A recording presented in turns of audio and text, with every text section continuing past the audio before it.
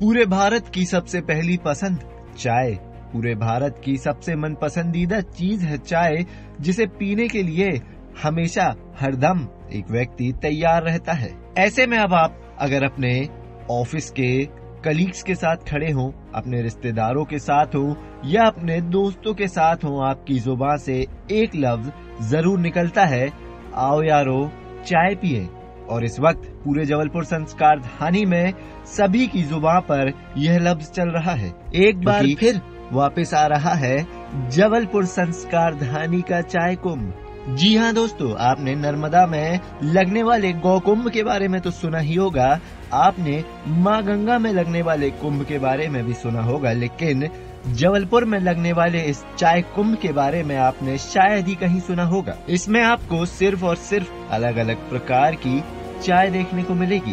जी हाँ इसमें आपको अलग अलग स्वाद वाली चाय देखने मिलेंगी अलग अलग तरीके से बनी हुई चाय देखने मिलेंगी और अलग अलग चाय वाले मिलेंगे और उनके अलग अलग कारनामे देखने को मिलेंगे। लगभग 250 से भी अधिक चाय की वैरायटी आपको एक शहर एक जगह संस्कार धानी में देखने को मिलेंगी, जहाँ पर वापस आ गया है संस्कार धानी का चाय कुंभ, जो कि 11 फरवरी 2024 में जबलपुर के राइट टाउन के एमएलबी के पास एनएमटी में होने जा रहा है, जहाँ पर आपको एक साथ लगभग इतने चाय वाले देखने को मिलेंगे, इतनी चाय की वेराइटियाँ देखने को मिलेंगी।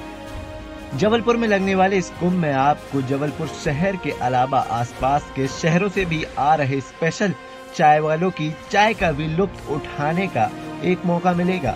हम जानेंगे इस चाय कुंभ के आयोजक पूर्व आईएएस ऑफिसर वेद प्रकाश शर्मा से कि आखिर इसे आयोजित करने की सोच उन्हें कहाँ से मिली, कैसे उनके दिमाग में आया कि उन्हें एक चाय कुंभ भी आयोजित करना चाहिए। दो हज़ार चौबीस के चाय कुंभ का आयोजन ग्यारह फरवरी को होने जा रहा है। स्थान है एनएमटी जो राइट टाउन में स्थित है और एमएलबी विद्यालय के पास है।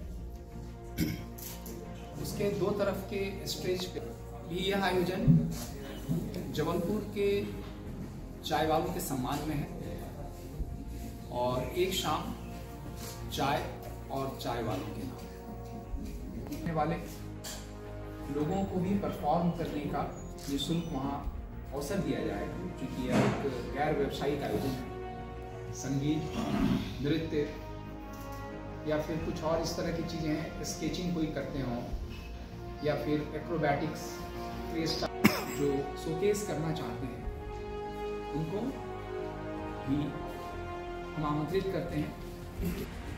इसके अतिरिक्त गैर व्यवसायिक तरीके से अगर कोई हस्तकला या ऐसी अपने किसी बात को भी शोकेस करना चाहता है तो वो भी दिखा सकता है, क्योंकि न सिर्फ़ चाय वालों का सम्मान करना, बल्कि शहर को जोड़ना और आनंद उठाना।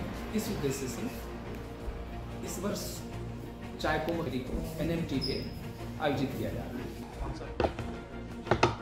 चाय के बहाने लोगों को जोड़ना और चाय वालों के सम्मान में जैसा पिछली बार भी शहर के बहुत सारे चाय वालों ने इसमें भागीदारी की थी और एक से एक अच्छी चाय और अलग अलग स्वाद के बेहतरीन चाय का लुत्फ लेने का हम सबों को अवसर मिला था। वो अवसर भी मिलेगा।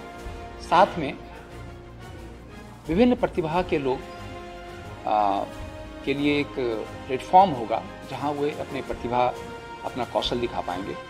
वो आर्ट फाइन आर्ट या इस तरह की चीज़ हो या फिर कोई और कौशल की बात हो, जैसे एक्रोबैटिक्स है स्टैंड अप कॉमेडी है, या कोई मैजिक दिखाना चाहे, या स्केचिंग करना चाहे, या फुटबॉल फ्री स्टाइल ड्रिबलिंग कोई करे तो इस तरह की रुचि रखने वाले एक से एक लोग हैं और युवाओं में असीम क्षमता है। उनको भी फ्री ऑफ़ कॉस्ट एक प्लेटफॉर्म देने की बात है।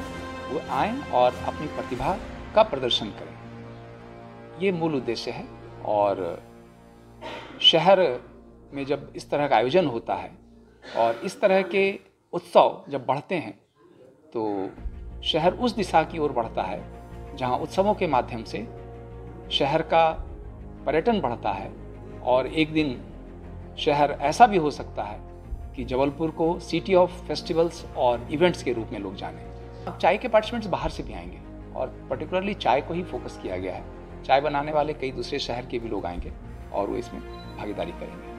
अब इनविटेशन बहुत लोगों को दिया गया है। बाहर से कम से कम पाँच शहरों से लोग आएँगे बाहर से, जो और जबलपुर के तो हमारे चाय वाले सब रहेंगे ही। तो सभी मिल के और एक दूसरे से जुड़ने का भी अवसर, दूसरे शहर के लोग भी जबलपुर आएँगे, जुड़ेंगे, कुछ यहाँ की चीज़ें देखेंगे, जाएँगे तो हमारे शहर के लिए भी एक अवसर होगा कि अपनी बात, अपनी खुशबू बाहर तक भेजें। चाय तो नाना प्रकार के हैं, हर चाय वाले की खासियत अलग होती है। और इसी कारण उनका एक क्लाइंटेज अलग होता है, आप लोग जानते हैं। हमें फला पुलिया के नीचे वाली चाय पसंद है। हाँ आपको एम एल के नुक्कड़ वाली चाय पसंद है। तो ये तो अलग अलग तरह की चाय का स्वाद का तो हर कोई अलग है। हाँ उसमें भी कई तरह की चाय हैं।